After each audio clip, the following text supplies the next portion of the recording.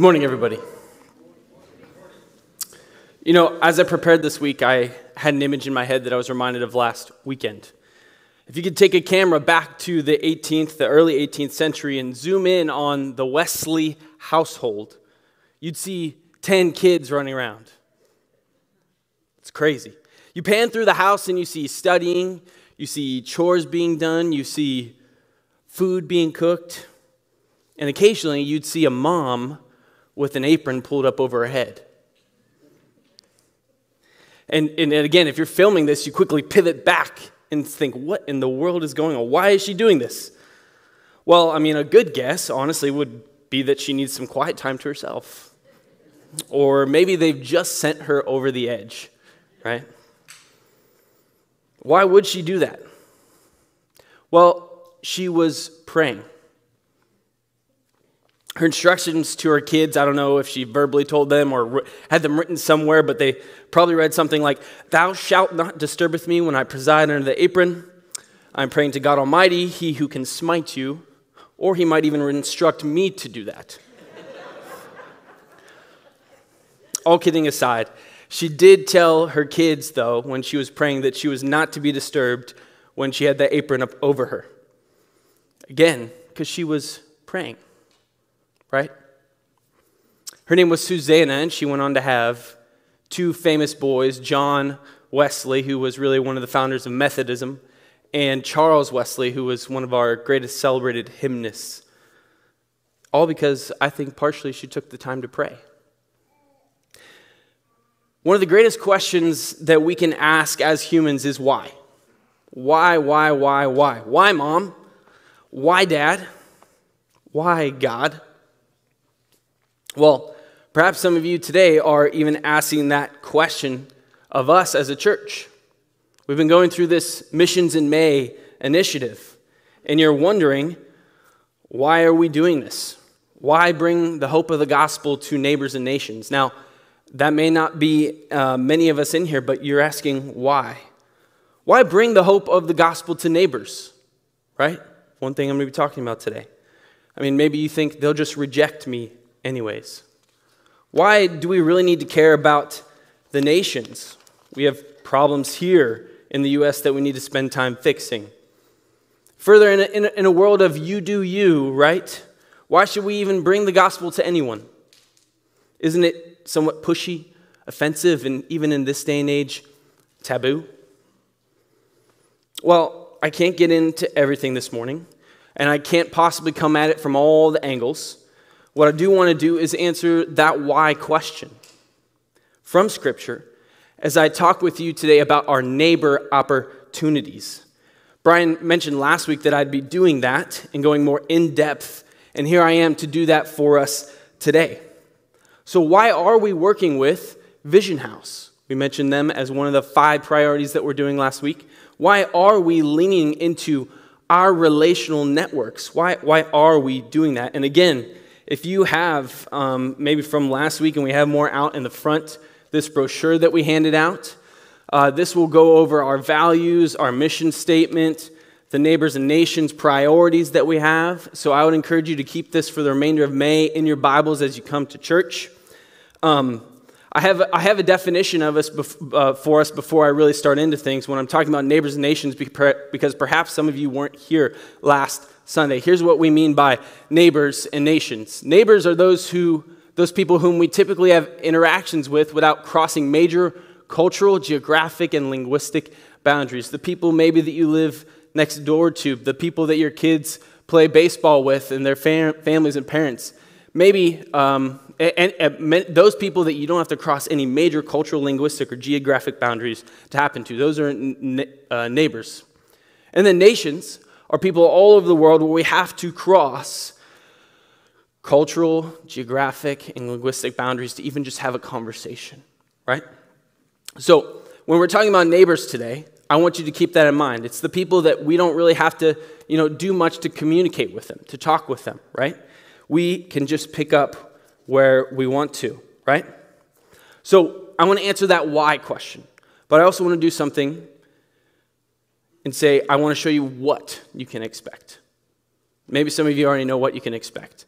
But I want to, again, go to Scripture and lo and behold, from the same passage, bringing the hope of the gospel, we'll see, to all kinds of people results in all kinds of responses. So as we spend time in Scripture, I want to unpack, after we spend time in Scripture, I want to then unpack more leaning, what we're doing with Vision House and what we're going to be doing with my relational networks. And we have some informational videos to show you today. So it won't just all be me diatribing today, okay? So here we go. Um, I am reminding myself and reminding you that even though we're speaking obvious things, right, when we're talking about why share the gospel, to us, maybe some of this, that's obvious because the gospel is so good. It's great news. But I want to remind us that much of the Christian life is reminding ourselves of what we profess and who we are as Christians. So I think it's always good to have a reminder. With that, I want you to start turning your Bibles to Acts chapter 17. Acts chapter 17. Acts 17 is where we're at, starting in verse 16. And again, my question for us is this as we bring the hope of the gospel, why, why do it and what can we expect? Why do it and what can we expect?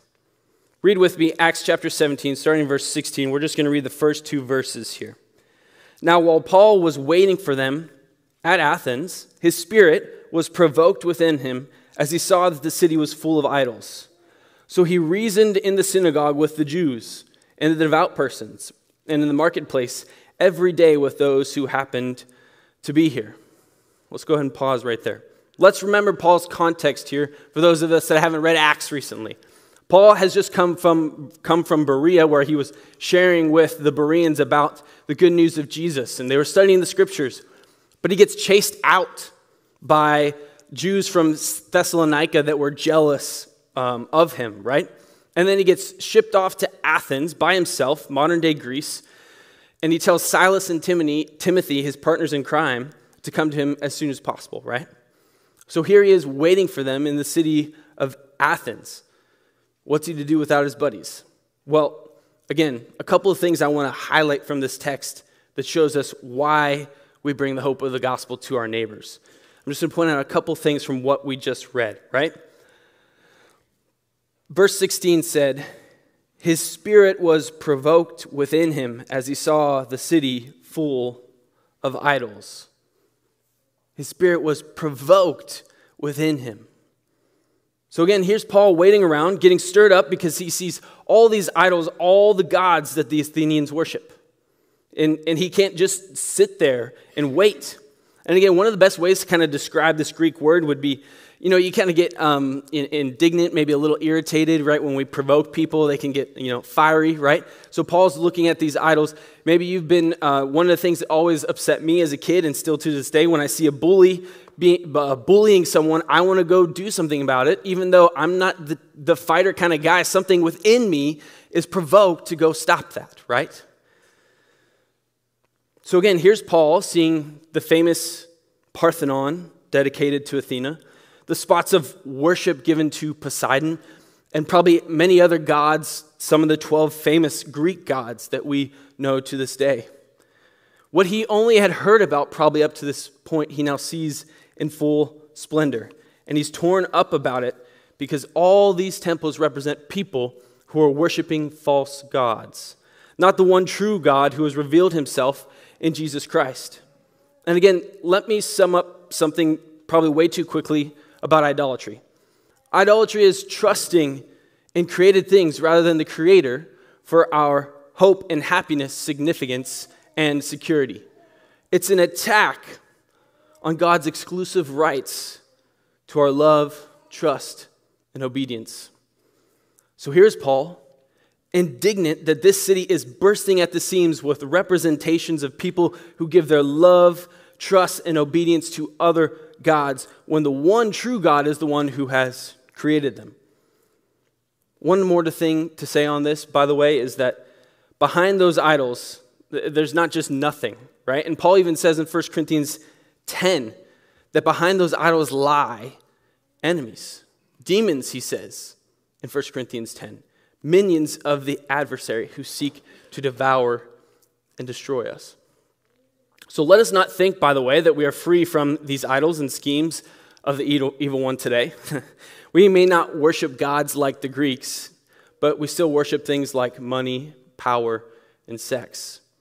And those three areas, with all their gnarly tentacles, have destroyed many people and many families too. So, Paul, seeing all this, chooses to do something about it. He goes, and as he's waiting, remember, friends, God still works even when situations aren't ideal. He doesn't have his partners in crime, his buddies in ministry. When I do a Wednesday night without my wife there, she's usually with me there every, every Wednesday night. When I do youth ministry, Wednesday night youth groups without her, I feel like a half inflated balloon. But I often have to tell myself that God can still work even when she's not present. God still works even when we're missing something, even when we're not whole. So Paul was waiting, and yet here he is, the text says, heading to the marketplace in the synagogues, telling people about Jesus and the resurrection. Every day, it says in verse 17. He's taking every opportunity while he's waiting. We have to remember, just like him, that we have daily opportunities to proclaim Jesus in our workplaces, in our schools, at the field, and in our clubs, and at our coffee shops. So, why bring the hope of the gospel to neighbors? I want to answer that question right here. Part, part one, really, of our, our big question is because false worship provokes us to action. False worship provokes us to action. We are compelled to proclaim this good news with a broken world, to beat back the gates of Hades to loosen the bonds of Satan's chains upon this world, and to bring people into a living communion with God Almighty. That's what we do when we bring the hope of the gospel to our neighbors. May we never forget that. Man, I could camp out here longer. I'm going to have to move on, though. So, um, so we've seen the why. False worship provokes us to action. That's what we've seen here in Acts 17. We've seen the why. But what else can we expect, right? What, what can we expect? Well, now we're going to head to the end of the chapter in Acts 17 to see what we can expect. Paul, after his daily proclamation, he gets some curious people, right? People like, what is this babbler saying? It's kind of a derogatory term, right? His, he gets invited to the Areopagus, uh, Mars Hill, and the ruling council of Athens hears him out, right? Paul in that statement, and again, I'm summarizing the chapter for us before we end in the last couple verses. Paul masterfully weaves together a sermon that is saturated with the Old Testament without referencing it once. And yet, he, again, so he never quotes it, and yet, he instead quotes their own writers and their own poets to build his defense. So, what happens at the end? What happens after Paul gives his speech, gives his spiel? Look with me in verses 32 through 34. Paul has just said that God has given us assurance that he will do these things by raising him, Jesus, from the dead. And verse 32 says, Now when they heard of the resurrection of the dead, some mocked. But others said, We will hear you again about this. So Paul went out from their midst. But some men joined him and believed, among whom also were Dionysius the Areopagite and a woman named Damaris and others with them. So, what can we expect? Three simple observations from those last couple of verses. I'm going to put them on the screen and kind of just quickly go through them. What can we expect when we do bring the hope of the gospel to our neighbors? Because guess what? I don't know if you've ever done this before, but when you sometimes share the hope of the gospel, it's not always just like people just believe on the spot, baby. That actually really doesn't happen, especially out here in Seattle. You got to get through some, you got to get over some hills, through some valleys now, that doesn't mean, though, that God can't work, and I'll kind of talk about that. But what happens? What can, we, what can we expect when we do bring the hope of the gospel to our neighbors? Some may mock. There's a famous atheist. Luckily, he's, he's kind of uh, on the outs. Uh, Richard Dawkins is his name, and some Christian beliefs he's said to his own people in a big audience, saying, when you hear them and you hear them talking about these things, mock them, ridicule them publicly. He wants us to feel stupid and belittled. that we even exist in this 21st century. I remember some of my football friends mocking me in high school for some of the things that I would be open about um, with my Christian faith. And I was constantly having to field these questions and different things like that. And uh, it was actually in middle school when I told, you know, one uh, young guy, and again, I, I kind of grew up in the youth group purity culture movement, and I was talking to him about the silver ring thing that I went to, and actually now I have a silver ring. So, anyways, um, talking about, you know, wanting to save uh, my relations, sexual relations for marriage, right, with my wife. And I had all kinds of dudes hearing me listen to this and then mocking me, especially those that were already sexually active, mocking me as well. So we can expect sometimes, and again, I, I was talking about that, not necessarily uh, the, the gospel, but we can expect sometimes that we'll be mocked. We can expect also that there would be curiosity. It said that some said, We will hear you again about this. Right? Maybe you've shared some gospel things and you haven't really just had people come at you, but you know, they've just kind of shaken their head, maybe asked some good questions, and you know, you kind of leave the conversation, you're like, I don't know where that ended up, but you could see maybe a spark of curiosity. I was uh, a caseworker in a foster care home in Spokane before I moved to Dallas, and uh, there was this kid named David. He was 17 years old, and he told me uh, very early on that he knew he would never amount to anything because his dad was good for nothing, and that's how I know that I'm going to be. And I remember sharing with the gospel and telling him that that doesn't have to be the case. And he had kind of gone to youth group every now and then, and uh,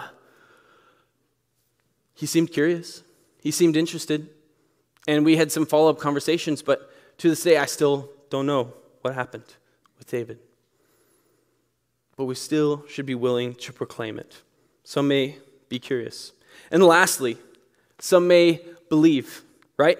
Dionysius the Areopagite. This guy was known as the Areopagite. He was someone who spent a lot of time here, hearing a lot of people talk about the something new that was interesting, right? Even that guy believed, and a woman named Damaris and others with them. So Paul's speech, his proclamation about the good news of Jesus had some effect. Some did indeed believe and started following him. And we pray that they became maturing disciples of Jesus who got plugged into the local body there once it was started.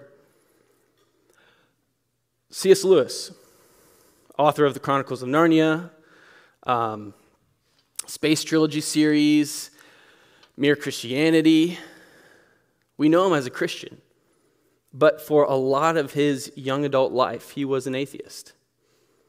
And through his conversations with Christians, talking with them, and, and C.S. Lewis, he's, he's no intellectual slouch.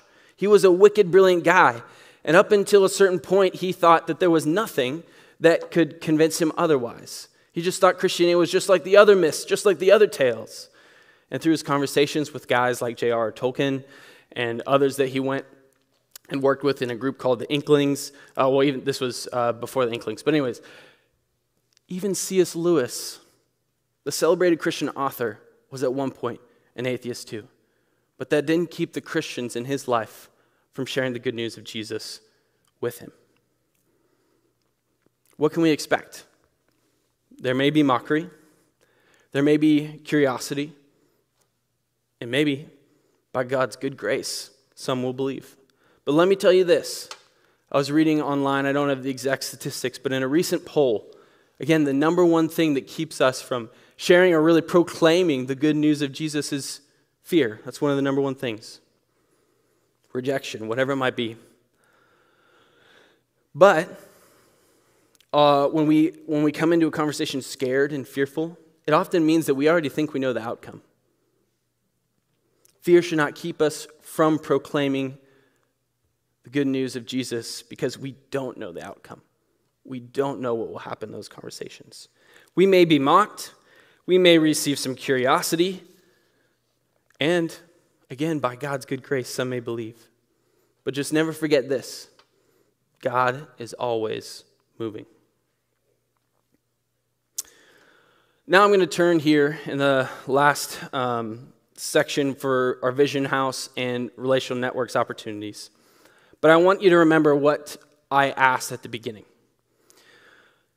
As we're bringing the hope of the gospel to the world, why do we do it? And what can we expect? Well, I have our answer here on the screen behind me. We bring the hope of the gospel to our neighbors with provoked hearts, expecting different responses. And one of those responses, responses may even be belief. We want to be people who are compelled. That's one of our values for our neighbors and nations' efforts.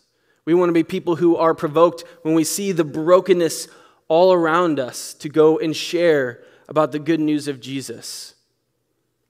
We want to have a group of people here in this church who are not just Sunday pew sitters. And I know that's not you. But I, I, I, I want us to be, go beyond that and remember that we have hearts that should be compelled to go and proclaim the good news of Jesus and trust by God's good grace that some will respond. But to never forget, even though we may be mocked, even though some may just be curious, that God is always moving, and fear should not keep us from proclaiming that. Okay. Now that we've laid our scriptural foundation, I want to spend the latter half again of my time looking into Vision House and my relational networks.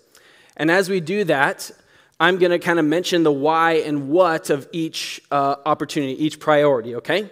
So I now have a video for us from Melissa Garrig, the executive director of Vision House, and we're going to hear more her, from we're going to hear from her and to, to learn more about the organization.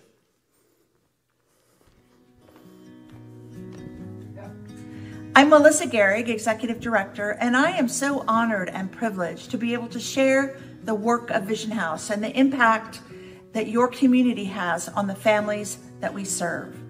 Vision House is a nonprofit ministry that for the past 32 years has provided transitional housing with supportive services to families with children who are experiencing homelessness. We're not an emergency shelter. Our families stay with us for an average of 16 months.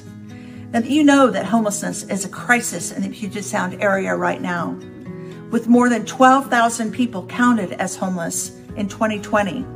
And 32% of those individuals were families with children. It's also important to know that there are four subgroups of homelessness. Chronic individual homelessness is huge, and that's who we most often see on the streets. Veterans, unaccompanied youth, and families with children. Families with children is the population that we serve at Vision House. We own 46 apartments in Renton and Shoreline. Both locations have child care centers as well. And we are unique in that we give families time to heal from the trauma of homelessness. We also believe that homelessness is more than a resource issue, but is a relationship issue. It's people who have had broken relationships or a lack of a stable supportive relationship in their life. At, at Vision House, we give families an opportunity to develop trusting relationships and learn to live in healthy community.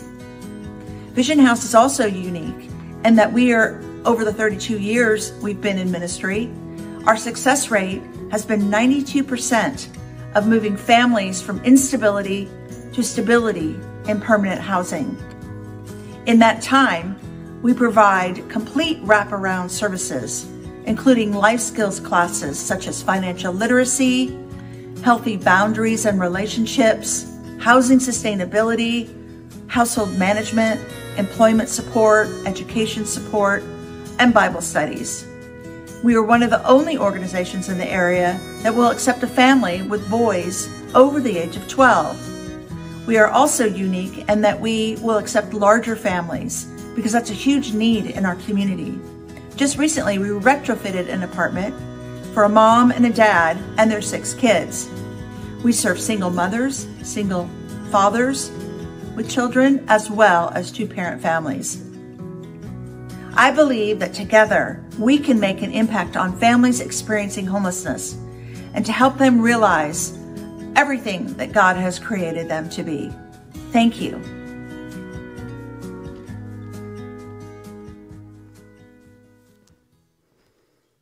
That was just a short little video that shows, again, some of what Vision House is doing. But one thing I wanted to focus on here, tying it to, to my sermon again today, is you heard Melissa say that homelessness isn't really just a resource issue, issue primarily. uh, it's a relationship issue. And so, as we seek to be relational, again, one of our values for our neighbors and nations' um, efforts, as we seek to be relational, we want to remember that bringing the hope of the gospel brings more than just salvation for souls. So, again, why, why partner with the Vision House? Because we think that the gospel is holistic, that not only does it save people, make them right with God, but it fixes broken lives. Not always perfectly, not easily, but it fixes broken lives because we're heading to a new world one day where all things will be made new and the brokenness that has ravaged humanity for all history past will be done away with. And we bring the healing, the salvation holistically into this present now by bringing the hope of the gospel to our friends, to our neighbors. Again, I think quickly of Jesus proclaiming the good news everywhere he went in his ministry. But if we again read the Gospels, what was another major thing that he was doing? He was healing people, he was casting out demons. He was working with those that were sick and poor and disenfranchised, those that the religious elite would not touch with a 10 foot pole. And uh, here was Jesus in his ministry proclaiming that good news of the kingdom. So, what can we expect? Again, why, why work with Vision House? Because they are bringing holistic healing to people's lives. 92% is their success rate. And what you can expect is that broken people will be made whole by Christ and his people, us. Don't ever forget the 8%. 92, 8%. Don't forget that. It may not always be perfect. But as we partner with Vision House, we're going to see that God is working in many, many ways. Here's some of the ways that we plan to get involved with Vision House, actually. They have plenty of opportunities. Again, Shoreline, the Shoreline campus is, is also called Jacob's Well. That's their expression in apartments here in, in just a, a, a few miles from us. And one of the ways that we can be involved in the church is, is through this care for children, provide evening meals for women, help a child at their homework labs. And they need people to help run their events, to do some fundraising, to do maybe do some office work on occasion. A few more opportunities on the next slide are maintenance. If you're handy and you can do some maintenance, they always appreciate that. You can provide support to their family services staff. They have a number of staff who work with the families that they're supporting, and we can go and be support to that staff who I'm sure has a lot going on in their lives as they take care of these people. And also, one of the big ways that we've already been doing for a long time is pray for Vision House staff and the families. And again, we plan on doing some things with Vision House soon. If you recall, Peter Nordland has been hired as our new Neighbors and Nations Director. And we hope to, um, very uh, soon in the near future, uh, to start serving with Vision House in, in, a very tangible way. Again, you can pray on Sunday mornings for our opportunities for different things like that, but we are asking that people would get involved. So, um, I, I want to share more about that, but I want to uh, move on to my relational networks as well. And here's what we, we mean by that is that all those different social connections you have in life, at work, in your neighborhood, with your kids, in your clubs and gyms, um, that's what we're talking about when we're saying my relational networks, right? We interviewed someone uh, who I think uh, typifies what we mean by relational networks, and that's Dave Schlack. So we're going to watch this video together.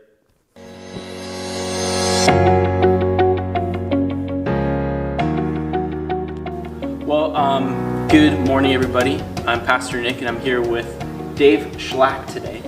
And you've been hearing me talk a little bit this morning about my relational networks. And I'm just going to talk with Dave a little bit about that today because I think he's someone who is already kind of doing what we're hoping and imagining for in my relational networks and tapping into what you already have existing in your lives and saying, how can we bring the hope of the gospel to our neighbors that we already have right before us, right? So, Dave, just tell everybody a little bit. I don't think everybody maybe knows you in um, the church. I'm sure many do, but tell us a little bit about who you are and your family, kind of what, what makes the Schlack family tick. Sure. Um, Dave Schlack, my wife Becky, and I have four boys. Andrew, who's a senior at Edmonds Woodway, John, who's a sophomore at Edmonds Woodway, Nate, seventh grader at College Place, and Ben, a fourth grader at Sherwood Elementary. All right. And they're involved in sports, right? lots of sports. In fact, I was thinking earlier, I think we've had, we've been involved in 13 years of youth sports to date and have, after this year, another eight to go until Ben is done with high school. So Wow. potentially 21 years of youth sports. Wow. Um, and you've coached a number of times, volunteered, just Yeah. a whole bunch of different things. Yeah, I've coached or been an assistant coach uh, for most of these years in soccer, baseball, and football. Yeah. Wow. So I remember a number of men's breakfasts ago. You know, we were kind of just touch, touching on, you know, how do we maybe, and, and this was prior to us really landing on my relational networks, but how do we just have our eyes open to needs in our community, right? And you had mentioned um, that you were kind of doing that as a coach um, and thinking about um, the kids and the, and the parents that you were working with, right? Why? What would possess you to, to do something like that? Share maybe a little bit about that men's breakfast and why you. were- Sure. Um, well, I'll, I'll step back just a little bit. Um, was a number of years back? I don't remember exactly how uh, how much, but when the light bulb went on that there are all these people that we're involved with through youth sports, and uh, you know there's a lot going on in their lives, and it's a great opportunity for us to be a light in this community. And uh, as, as a perfect example, um, one football season this last year, uh, we had of the 22 boys on the team, uh, I knew of four families that were having challenges. We had uh, one boy who's hadn't even seen his dad in a few months because his dad was in the ICU with dealing with COVID complications. We had uh, uh, let's see. Oh, we had another boy whose parents are divorced, but his mom was actually living back back with the family uh, because she's going through complications of cancer and just couldn't take care of herself. Uh, and then uh, another boy who uh, one day when I can't remember if it was at practice or maybe one time we'd give him a ride back, he had come, just made a casual comment to me about, yeah, my parents are always fighting, and I'm wondering I wonder if they're going to be getting divorced. And and then another one that um, he, he uh, I remember one day at a, a practice. I knew the parents were having some challenges, but um, you know he we're right before a game he breaks down and you know kind of runs off the field as we're doing warm ups and everything, and just because his, mom had moved out the night before, and um, you know with that one, it, I mean he was just torn up inside. And uh, you know with him I you know was able to, to pull him off to the side there and just to help him kind of collect his thoughts. And and I, I asked him uh, you know would you be okay if I prayed for you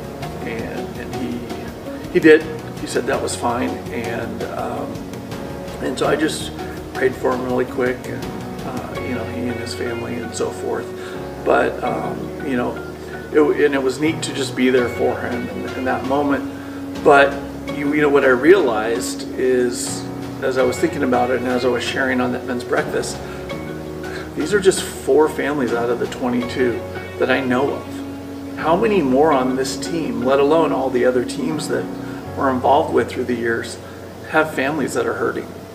And you know, we have a, an opportunity and a responsibility to um, to be there for them, to be a to be a light in the darkness, to whether it's be an encouragement, to pray for them, to uh, maybe be more proactive and invite them to church, or you know, get more involved in the, their lives. There's lots of things there. Yeah, yeah.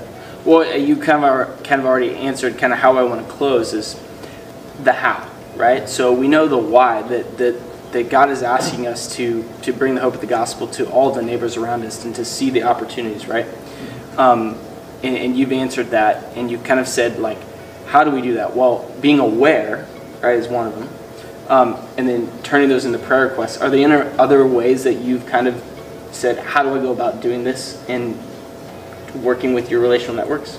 Yeah, and I think I think it, it really does start with with prayer and your personal relationship with God. You know, the deeper relationship we have with God, the closer we are with Him, uh, the higher the chance that we're going to see the opportunities around us. And not only that, have compassion for those people. Because um, they are happening all around us. Uh, you know, whether, you know, a big portion of our lives is with sports, but there's other areas too. It could be work, it could be neighbors, it could be family members. There, there's just so many areas where we connect with people that don't know Christ. And we have an opportunity, if we choose to, to be a part of what God's doing out here. Yeah. Amen. I, I don't think I can say it any better. Um, well, we wanted to interview Dave again to, to show you uh, that even if you're uh, a father who has uh, four boys in sports, you can emphasize bringing the hope of the gospel to your neighbors. It's possible, it's doable, and opportunities lay right before you in all areas of life, including that busy sports schedule that we know many of you have. So thanks again for being here, Dave. You bet.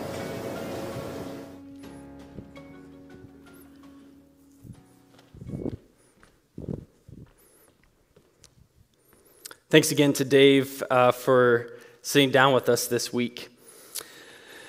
One, one, one thing I really wanted to point out as I wrap up here with Dave is that his coaching opportunity gave him just an awareness of the brokenness that was around him, and he just began to pray.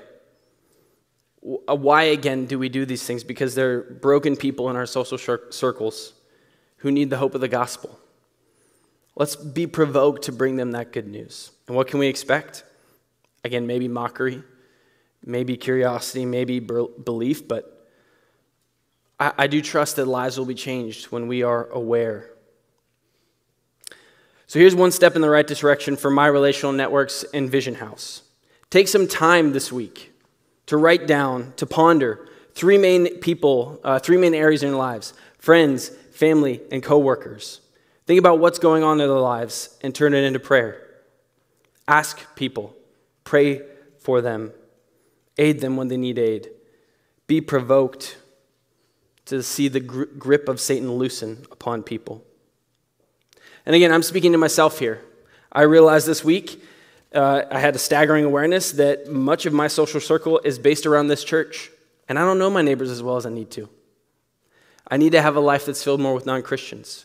I'm going to be doing that as I captain the My Relational Networks things, uh, things together with, with, with Peter and the others. And then Mona Rosendahl and Barb Larkin are going to be co captaining our Vision House efforts. We want to see change, we want to do things, and I'm inviting you to do this with me. Let me close in a quick prayer. Father, I just thank you that we've had this opportunity to hear from your word, to learn more about Vision House, and to ask ourselves how we can be more relationally involved in the networks that already exist in our lives. We just pray that you would keep us, uphold us, sustain us, show us your goodness and your mercy as we go about being people who have provoked hearts and can expect that even if people mock, even if people are just curious, that some may even believe. And let's be a part again of seeing people made whole. Pray this in Jesus' name. Amen.